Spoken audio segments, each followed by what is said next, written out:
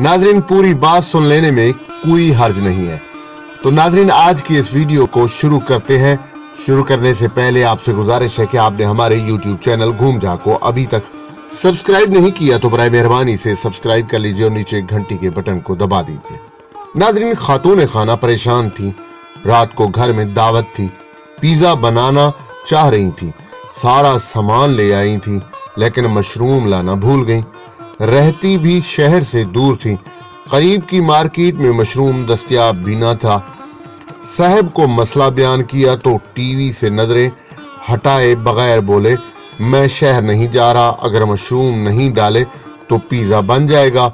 और अगर ज़रूरी है तो पिछली तरफ़ झाड़ियों में उगे हुए जंगली मशरूम तोड़ लो। खातून खाना ने फरमाया कि मैंने सुना है जंगली मशरूम जहरीले होते हैं। अगर किसी को फ़ूड पॉइजनिंग हो गई तो साहब बोले, दावत में सारे शादीशुदा आ रहे हैं। जहरीली बातें सुनने के आदि हैं। जहरीले मशरूम भी उन पर असर नहीं करेंगे। खातून गई और जंगली मशरूम तोड़ लाई। मगर चूँकि खातून थी, इसलिए दिमाग इस्तेमाल किया और कुछ मशरूम पहले अपने कुत्ते मोती को डाल दिए। मोती ने मशरूम खाए और मज़े से मस्त खेलता रहा। चार पाँच घंटे के बाद खातून ने पिज्जा बनाना शुरू किया और अच्छी तरह से धोकर मशरूम, पिज्जा और सलाद में डाल दिए। दावत शानदार रही। मेहमानों को खाना बेहद पसंद आया। खातून किचन में बर्तन समेटने के बाद मेहमानों के लिए काफ़ी बना रही थी। तो अचानक उनकी बेटी किचन में दाखिल हुई और कहा, अम्मी, हमारा मोती मर गया। खातून की ऊपर की सांस, ऊपर और नीचे की सांस नीचे रह गई, मगर चूँकि खातून समझदार थी, इसलिए परेशान नहीं हुई। जल्दी से अस्पताल फ़ोन किया और डॉक्टर से बात की। डॉक्टर ने कहा, चूँकि खाना अभी ही खाया है, इसलिए बचत हो जाएगी।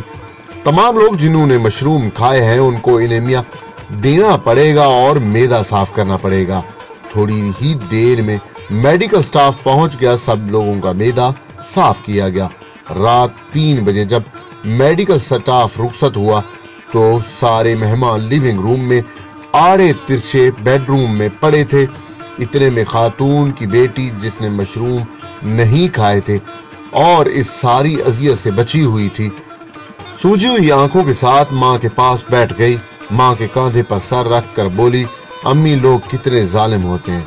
जिस ड्राइवर ने अपनी गाड़ी के नीचे मोती को कुचला, कर मार डाला, वो एक सेकंड के लिए भी नहीं रुका। उफ, कितना पत्थर दिल आदमी था।